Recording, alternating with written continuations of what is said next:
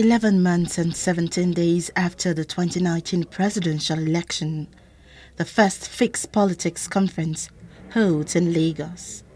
This talk shop focuses on stirring advocacy against bad leadership in Nigeria. It is the Robert Bosch Academy Conference being facilitated by former ACPN presidential candidate Oby Ezekwesili to present her research work on changing politics structurally for Africa's prosperity. We need a new political culture that subordinates private interest to the collective welfare. And you can do that by the kind of political class that will emerge different from the current monopoly political class. And with this new term, monopoly democracy, established by the researcher and former education minister Oby Ezekwesili, Professor Pat Utomi joins in, and along with other political elites here, the call on electorates to demand a shift from democratic monopoly to real democracy. We cannot have rational public conversation in Nigeria because the moment you point to something that is important that we need to talk about to solve it, the Ministry of Information will send people to begin to blackmail you on social media, call you all kinds of names. So our country is in a terrible position because we have the wrong people in public office who don't even understand the meaning of public conversation.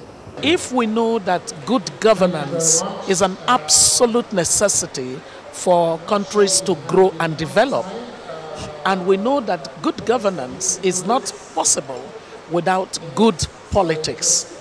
And then we also know that what we have seen so far across our continent, and especially our country, is nothing that comes close to good politics.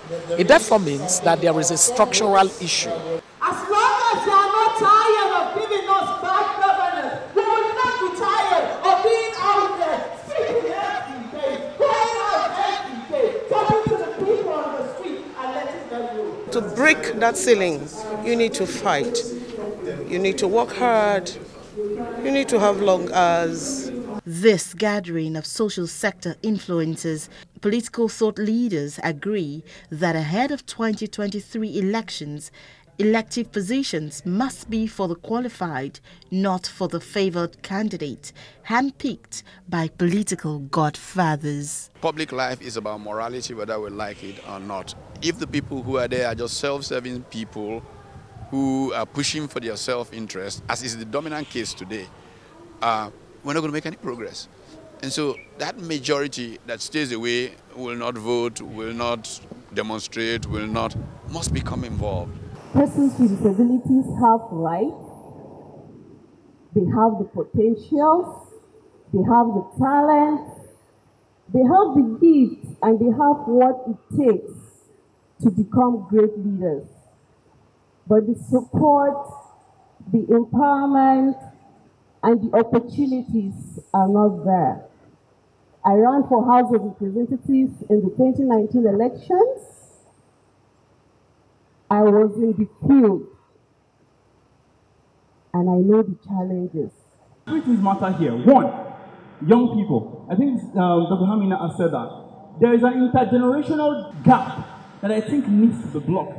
Young people have shown with uh, the leadership of uh, Samson and Yiaga Africa that we can bring the numbers together if the right support systems exist for reform in this country. Mary Chinda for Plus TV Africa.